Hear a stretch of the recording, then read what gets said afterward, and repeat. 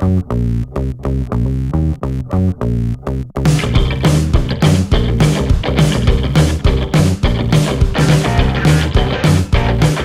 the problem of owning a CNC machine sometimes is not really knowing what to cut. So today I thought that I'd go through a tutorial on how to cut little animals out of plywood.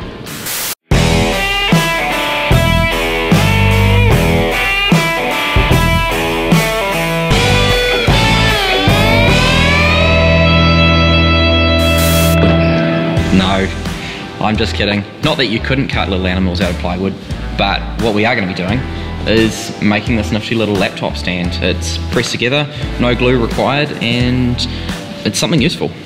So, let's get into it. So I've designed and programmed the laptop stand using Autodesk Fusion 360. I've put a link down in the description so make sure you click down there and download the part, have a play, and go straight to cutting. If you'd like to learn more about how I've designed and programmed the part, then stay tuned for our next video. Like and subscribe and click that bell notification so you get notified when the next video comes out. Unfortunately, vacuum holding is not uh, available to everyone and it is out of some people's reach. Um, so a lot of machines out there that people have uh, don't have vacuum beds, they have their T-slot beds. So one option is to use a rocker clamp like this. So these are just a little rocker clamp that we make in-house um, and the link will be down in the description if you're interested in them. So again, I can just slide the little rocker clamp into the T-slot track here, put the clamp up on the material, at the end of the clamp here, if we look at this one here, it's got some little teeth in the bottom, so that's going to help grip onto the material. Um, it can damage the edge of the material when you're clamping, so if you do want to protect the edge, it might be worth putting a little piece of tape on the edge of the material or another piece of timber to protect it. Now, one thing you'll notice here is the clamp is on a slight upwards angle. Now, that's probably okay for what we're doing here, but one thing that can happen when, the, if the clamps are on too steep an angle on either side, is it can cause the material to bow in the center. Now, again, for what we're doing, this it's probably not too bad because the material is going to bow in the center regardless um, because of the type of material it is and when we relieve it. But one thing we can do is we can take another piece of timber and we can actually throw that, unwind the clamp, and we can just throw that under the back of the material and we can actually add a slight downwards angle or downwards rake to the clamp and that downwards rake is going to sort of prevent that bowing in the center. It's probably not going to work too, too well with this material, that's why we're using the vacuum, but again, clamping is an option and it does work well if vacuum is not available to you.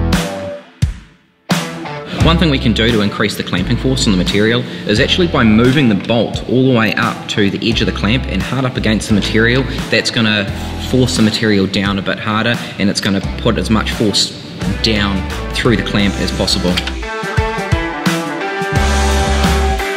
So before we get started, the next thing that we're going to need to do is jump into CNCJS and get the machine connected and then we'll go through the zeroing out process on the machine itself. So now we're in CNCJS here. Now all we need to do is just connect to the machine. So the first thing we need to do is make sure we're select the right port is selected, making sure that the firmware is selected. So the firmware on our machines is, is Smoothie. Um, come down, don't worry about the baud rate, and we just need to hit the open button. Down here in the console, you can see the machine is now connected. So from here, we just need to make sure that the e-stop on the controller itself is lifted jumping over and just hitting the homing button. The machine won't actually allow us to jog it around until it's home, so even if I hit the jog buttons, nothing will work. Cool, machine is homed, it's all ready to go. Now, what we need to do is select keyboard jogging mode. So keyboard jogging mode is just up here. Now the first thing we'll do is start jogging it forward just with the mouse, just a couple of clicks just to get a feel for how far it's jogging. Also checking and making sure that our jogging increments are set to one millimeter. Unfortunately, uh, the way that CNCJS does its jogging is through G-code jogging. So for every millimeter, every time you click it, it'll move one millimeter. So we just need to make sure that we um, one millimeter is selected. So we're just going to jog the machine all the way to the front of the material there.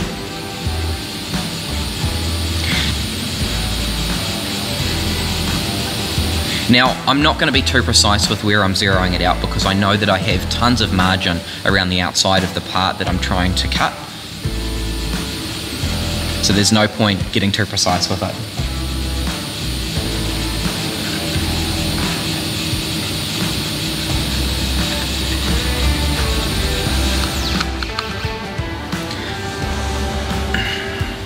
Now, the first thing to do before we go through the zeroing out process is just to make sure that all of our clamps are locked down or our vacuum pump is turned on because that way the material is going to be sucked down, it's all nice and tight, and we're zeroing it out in the position where it is going to be cut.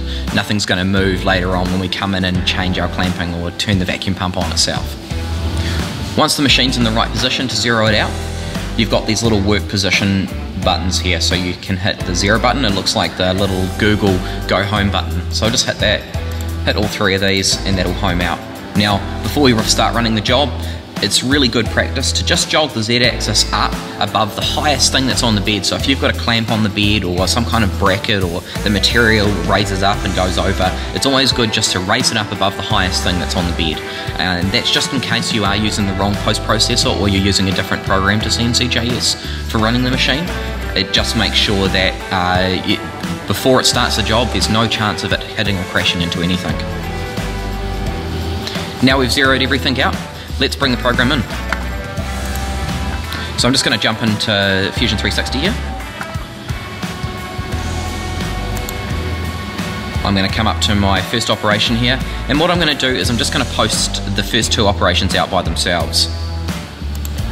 Now to do that I'm just going to click the first one, hold down shift on the keyboard and then select the second one. Right click on those two operations and select post process. That'll bring up the little post process window here. Making sure that we've got the vertigo post selected and then hit post. Now I'm just going to save this on my desktop and I'm going to call it laptop stand. 01 save. Want to overwrite? Yes I do want to overwrite. Laptop stand 01 cool. We'll just jump over into CNCJS again. I'm just going to hit the upload G-code button. Navigate down to where that is. Yep laptop stand 01 and hit open. Cool, just scroll out a little bit, just using the scroll wheel on the mouse there. That looks about right. Now the reason that I've chosen to cut this job in the centre is um, more for filming purposes and less for practicality purposes. Um, later on we will come in and we will cut another couple of these out of the same material here. Now before we start cutting, we need to make sure that we do our final checks. It's always good to just do a quick walk around the machine, make sure that there's nothing that can get caught up in the spindle, make sure that there's nothing protruding the gantry from moving backwards and forwards, and making sure that you're not wearing any loose clothing that, that could get caught in anything. And finally, make sure you put on some safety glasses and some hearing protection, and let's get started.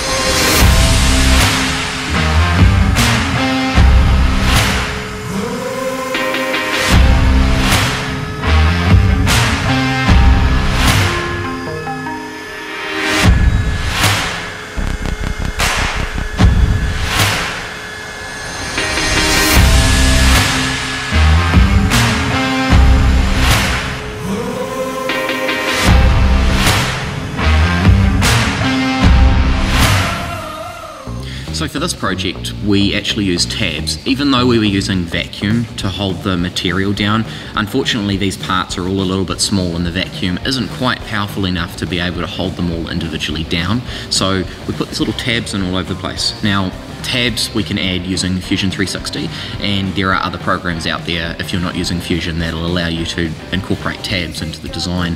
Um, now one thing you do need to know about tabs is if you do use a negative offset to cut down and make sure you're cutting right through the material you just need to make sure that you increase your tab height.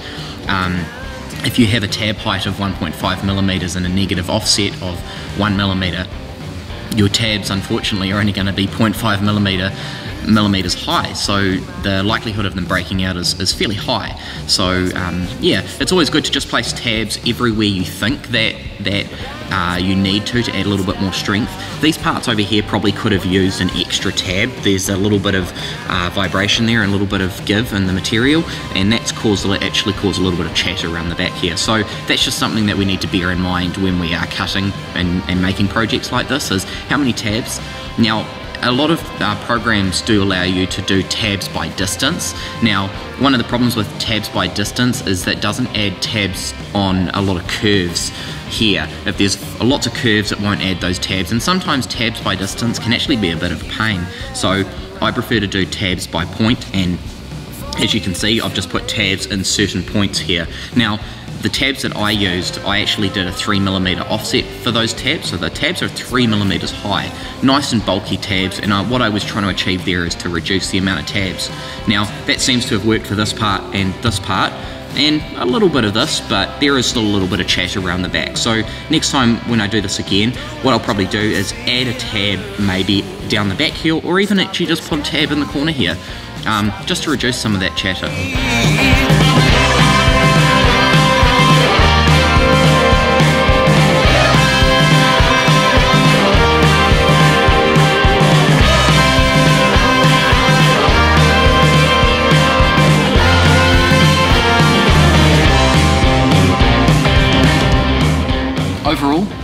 Really happy with how this turned out.